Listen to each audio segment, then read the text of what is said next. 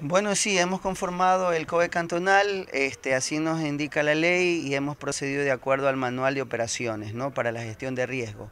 Indicarles que hay una alta disponibilidad de todas las autoridades de la localidad, esperamos ir haciendo acciones pertinentes para gestionar el riesgo y sobre todo prevenir el riesgo, que eso es una característica nuestra, hacer este, temas de prevención y en este tema de prevención invitar a la colectividad, a la ciudadanía.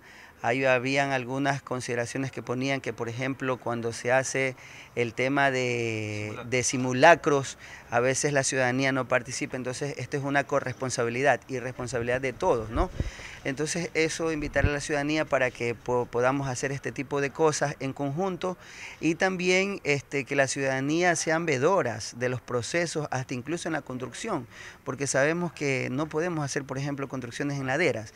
Ese tipo de cosas también son temas que, que nos convoca a todos para estar presente y pendiente de las cosas que se realizan, siempre pensando que hay que hacer las cosas bien para prevenir algún desastre y para prevenir incluso seguridad, etcétera, ¿no?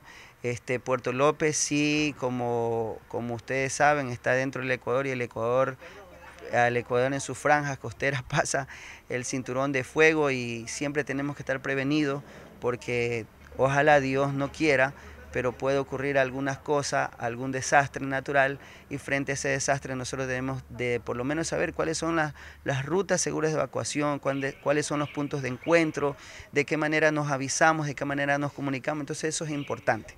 Eh, con su alcalde Javier Pincay estaremos presentes y pendientes de las cosas que haya que hacer por el territorio. Vuelvo y repito, yo siempre he dicho que el desarrollo local no necesariamente es siempre dinero, hay la disponibilidad y esa disponibilidad, disposición, esa manera de entrega encontrado en las autoridades que hoy nos hemos reunido. En este momento hemos resuelto también acompañar a las parroquias si así nos permiten, pero aquí ha estado presente en los compañeros de las parroquias y nos han dicho que quieren que nos le, acompañemos para hacer estas mesas de trabajo pertinentes al tema de gestión de riesgo. Usted en la reunión habló de emergencia, una emergencia que atraviesa la municipalidad, alcalde. ¿Podríamos eh, emitir un criterio con respecto al diagnóstico que usted está haciendo en la institución? Bueno, sí, hay distintos tipos de emergencia y, y yo les decía que también hay que comprender porque lamentablemente hay ciertos temas de logística que el municipio no cuenta y la emergencia pasa por una eh, una economía completamente este, con números para atrás, desalentadora que encontramos en el municipio. Este, no podemos responder inmediatamente como se quisiera. Entonces sí es importante conocer esto, ¿no? Sin embargo, eh, sabemos que poniendo todo nuestro énfasis, nuestro empeño, las cosas van a salir adelante.